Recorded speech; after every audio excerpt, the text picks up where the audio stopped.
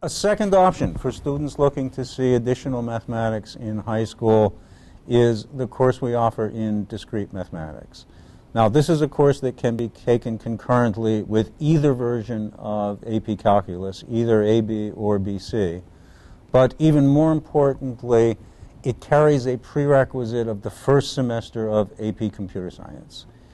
It is not quite a computer programming class, but it is a class where some knowledge of computer programming is essential. So, what is discrete mathematics? Well, a couple of things characterize it. As its name implies, it is discrete versus continuous, finite collections rather than the dense and infinite collection of real numbers that dominates calculus. That might make it sound easier, but that's deceptive. It's not easier, it's just different.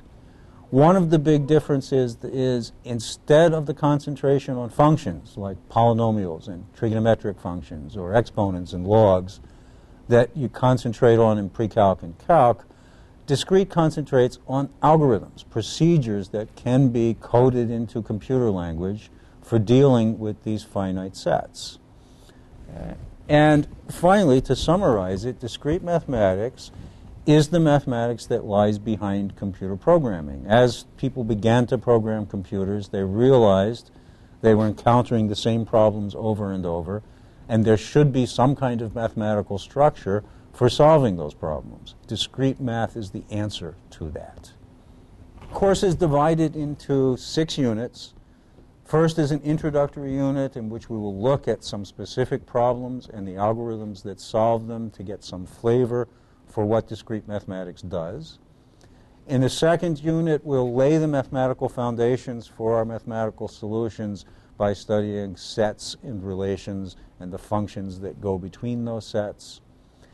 In Unit 3, we will look at integers. Computers do arithmetic in integers.